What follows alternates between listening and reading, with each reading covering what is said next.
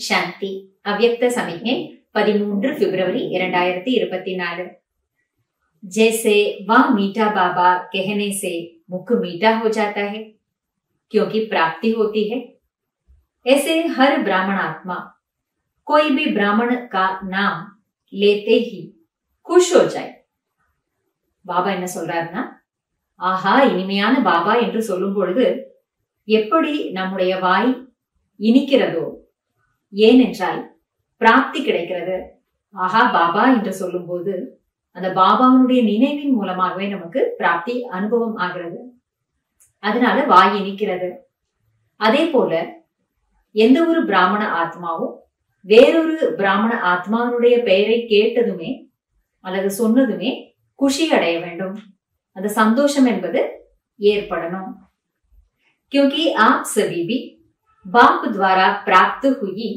विशेषता से एक दो के सहयोगी साथी बन उन्नति को प्राप्त करते हो ஏனென்றால் நீங்கள் எல்லோரும் கூட பாபாவின் மூலம் கிடைத்திருக்கின்ற விசேஷ தன்மைகளை ஒருவருக்கொருவர் சகயோகியாக ஆகி தோழர்களாக ஆகி முன்னேற்றத்தை பிராப்தி அடைகிறீர்கள் ஒருவருக்கொருவர் நாம உதவி செய்து கொண்டு துணைவர்களாக தோழர்களாக ஆகி நாம நம்முடைய வாழ்க்கையில இந்த அலௌகிக வாழ்க்கையில முன்னேற்றத்தை அடைஞ்சிட்டு வரோம். எந்த ஒரு பிராமண ஆத்மாவும் உண்மையில பார்க்க போனா அதாவது மற்ற எல்லா பிராமண ஆத்மாக்களினுடைய ஒரு உதவியின் மூலமாகத்தான் முன்னேற்றத்தை அடைஞ்சுக்கிட்டு வரோம். பரிவாரம் என்பதனுடைய முக்கியத்துவத்தை பாப்தாதா நமக்கு பலமுறை புரிய வச்சிருக்காரு.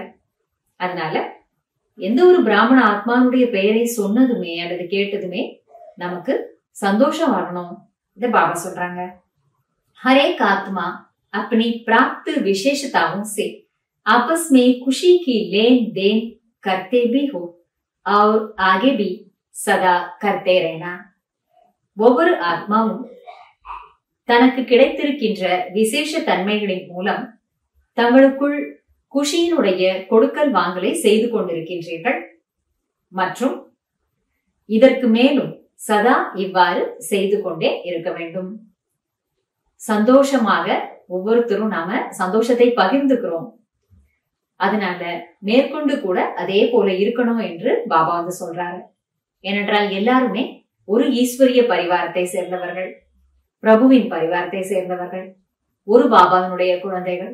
நமக்கு தெரியும் இப்ப நாம சங்கம யுகத்துல சந்திக்கக்கூடிய பிராமண ஆத்மாக்கள் கல்பம் முழுவதும் நம்மை சுற்றி சுற்றி பல ரூபங்களிலே வருவார்கள். அதனால பிராமண ஆத்மாக்கள் அனைவருக்காகவும் எப்பொழுதுமே சுபமான பாவனை வைத்து அவர்களுடைய நல்ல முன்னேற்றத்திற்காக நாம உதவி செய்யணும். நன்றி பாபா. ஓம் சாந்தி.